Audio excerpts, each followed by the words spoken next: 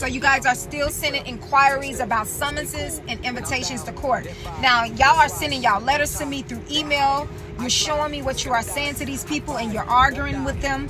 You are making claims. And that's the last thing that you want to do. Because when you make claims, you have to prove everything that you are saying. You don't have to do all that.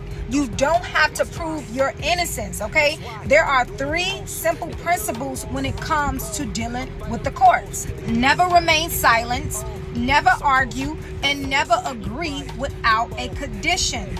So if someone is asking you questions or they send you something in the mail and you don't respond, you have locked yourself into a contract.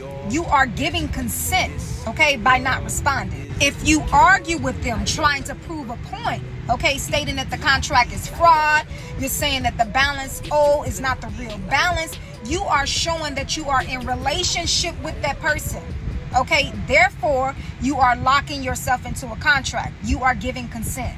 Lastly, you never want to agree with what they're saying. You never want to just agree with what they're saying. You want to accept what they're saying and you want them to verify it in writing in their private capacity. I speak about this all the time. They have to put it in writing and they got to sign it. If you fall short of any of these principles, you are going to find yourself into a adhesion contract, okay?